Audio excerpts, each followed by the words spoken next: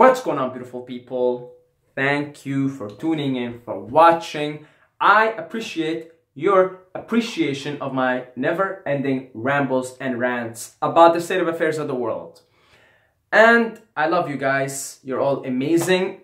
And so, we are going to talk some stoner talk here. Stoned ape theory. Okay? stoned ape theory. So, what is stoned ape theory? So, Terence, this is not even really a theory, it's more of a hypothesis. It's stoner talk. And this was developed by Terence McKenna, who is no longer with us. Terence McKenna uh, was a psychonaut. A psychonaut is someone who experimented or experiments a lot with the psychedelic state of mind. Meaning, you trip fucking balls for a lot of your life, maybe all your life, and you're essentially trying to explore your mind and you're trying to explore your soul because the word psychedelic means mind revealing or soul revealing, right? So a psychonaut is someone who decides I'm going to spend a lot of my time experimenting with psychedelics and figuring out what the fuck is this? How does, you know, what is this? What is it making me think? What is it making me feel? What are these insights that I'm getting about the universe and about myself? And really like trying to contemplate your existence essentially, right? You're really mind revealing, soul revealing. So Terence McKenna was a psychonaut. He experimented a lot with psychedelics and came up with a lot of weird, wacky theories and hypotheses. And they're very interesting. He's a very interesting guy. and um, he came up with this theory. So, of course, Terence McKenna was, he popularized, uh, popular, popularized the whole five dried grams in silent darkness, right? That was his favorite method of taking mushrooms. S silence, dark room, five grammer, hit me up spirits, hit me up aliens. What's good? So, on after, you know, a lifetime of experimentation, he came up with this theory called stoned ape theory. And it's pretty it's pretty interesting shit. So his theory is that apes got down from the trees at some point in history. I don't know the numbers, you know, he has like a certain historical timeline and started eating mushrooms. And as they started eating mushrooms, you know, they, they, they, they experienced increased visual acuity. So they were able to see more and sense more, right? And they increased their sexual uh, excitement and their sexual libido increased and so they sort of had more sex and by default they had more babies and they kept sort of eating these mushrooms for i don't know like generation after generation after generation after generation after generation. And as a result of eating these mushrooms the brain the human brain expanded in size and therefore expanded in capacity and um, it essentially makes a human, what makes a human human is our ability to walk and our brain, really. That's that's what it is. The brain. Our brains, it's the way the way our brains pick up thoughts and their capacity. This is why we're on top of the food chain as humans, because of our brain, because of our thinking ability, our thinking faculty. And so his theory is that over generations of consuming mushrooms, because if you actually look, and this is what makes this hypothesis interesting, if you look at the timeline in which the human uh, human brain increased in size, it's a it's a short period in evolution time. It's like it almost like makes you think something happened there, something because evolution takes a long ass time, right? But if you look at the, the increase in human, the, the size of, of the human brain, it, it happened in a relatively short time, which makes you think something must have happened along the way. You know, it just makes you think like that. So his theory is that what happened along the way is this alien intelligence that, that is sent to us by like aliens, maybe from other galaxies or whatever, was sent to Earth for us to communicate with them, with these aliens, with this alien entity. And, and, so we started eating these mushrooms. We kept eating them and eating them and eating them over generations as apes. This mushroom opened our minds, increased the, the brain size, and most importantly, gave us language. Gave us language. Because, you know, language is, it's a, what is language? Where did it come from? His theory is that actually language originates from the re repeated use of psychedelics of psilocybin mushroom. And that's sort of how we got language and our brain increased in size and we are who we are because of the mushroom, because of, you know, consuming this thing, this psilocybin. So what this hypothesis, right, what this funny, interesting hypothesis suggests is that and what Terence McKenna suggests is that we have a symbiotic relationship with psychedelics. We have a symbiotic relationship with psilocybin mushrooms. Symbiotic means codependent. So we depend, like meaning we depend, our existence depends on the consumption of psychedelics.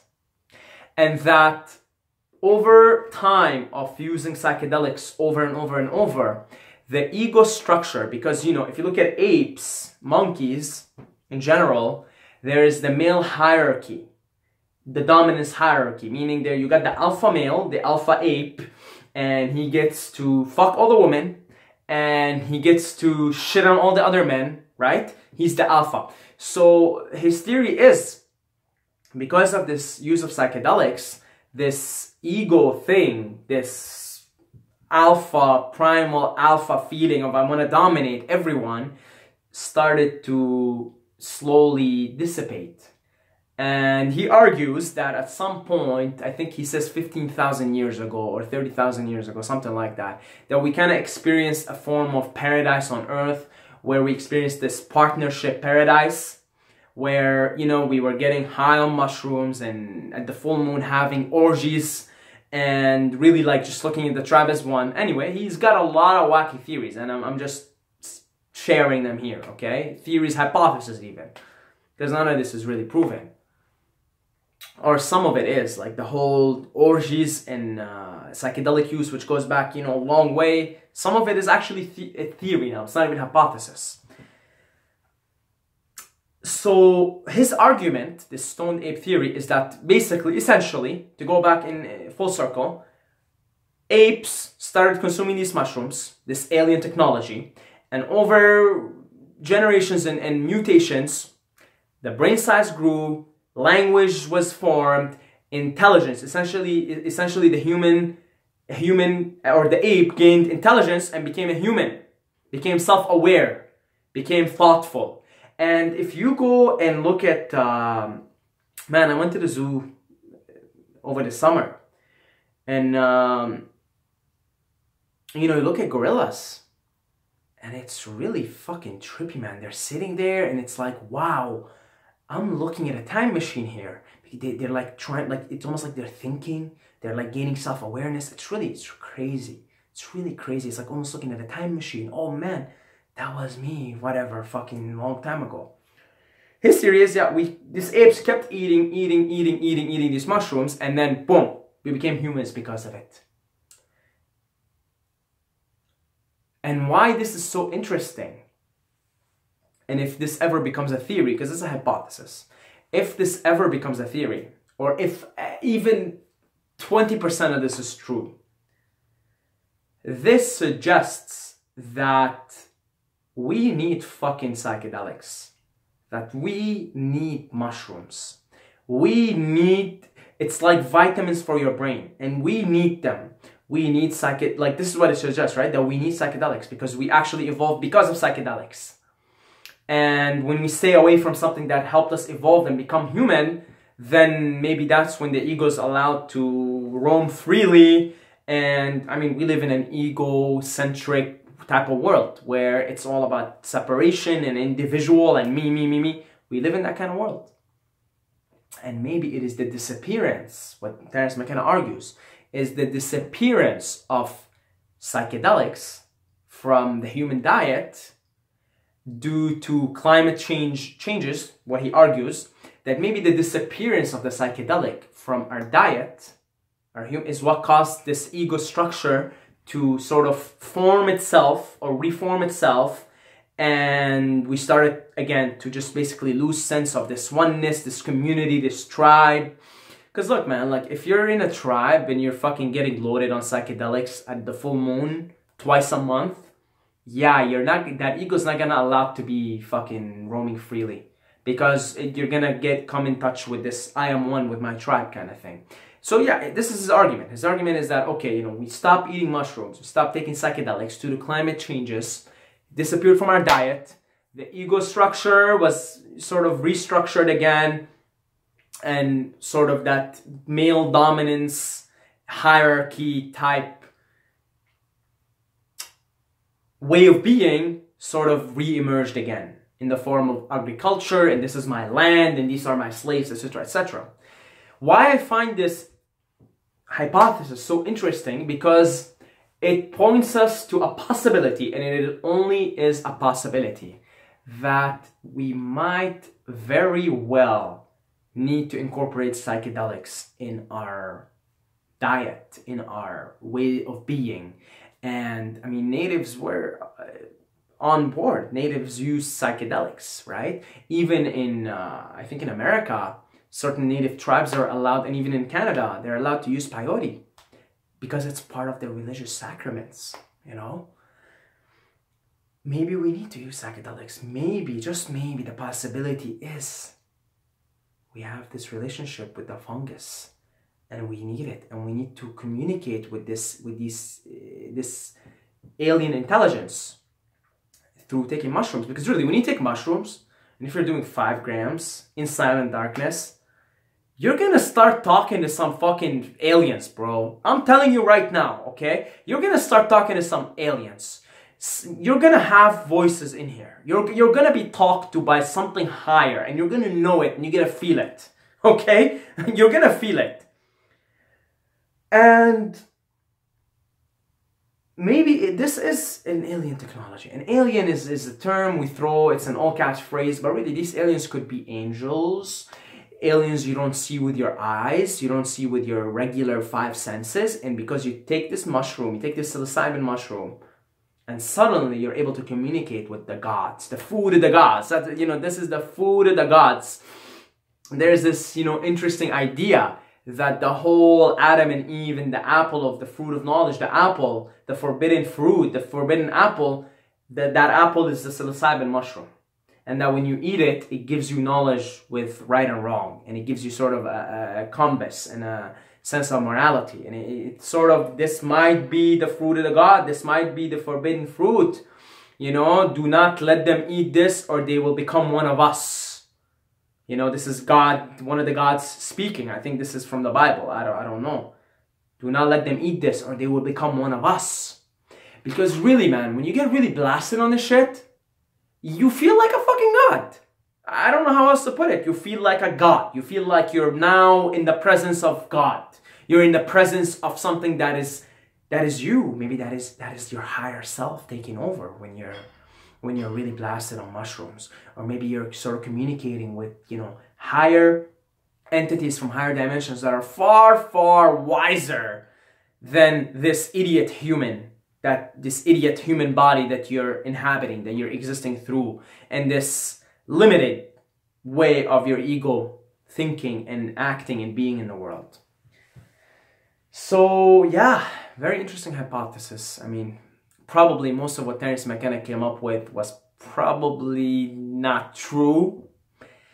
But even if like 20% of all the stuff that he said is true, that is wild even if like even if this whole hypothesis is bullshit but maybe some there's some truth that links a symbiotic relationship between human and psilocybin mushrooms and psychedelics that has serious implications. That means we got to study these psychedelics more and we got to incorporate them back into society in a productive manner that is going to help a lot of people. I made a previous video about the John Hopkins study, how one use of psilocybin mushrooms help people uh, get over anxiety about death and people with cancer and help them feel, you know, like they put it in their top 66% of them or something put it in their top five experiences in their entire life along with giving or having a first child and like having a loved one die like it was that significant so all i'm saying is psychedelics are worth really really studying. I can't believe we illegalized them. I can't believe we're not studying these magnificent things that can really really help humanity and that can really open our eyes to ourselves to our true nature but also give us the sense of community the sense of you know oneness and feeling one with everything and wanting to genuinely help your fellow human beings and your fellow brothers and sisters. So that's it. Just wanted to discuss it. Wanted to put it out there for you guys who maybe never heard of this. If you want to listen to it from the man himself, Terence McKenna, just go and look up on YouTube Stoned Ape Theory.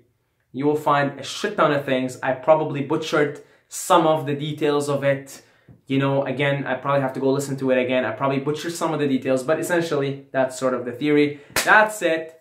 I love you guys. I love every single one of you, but don't forget to subscribe or you're gonna sleep with the fishes.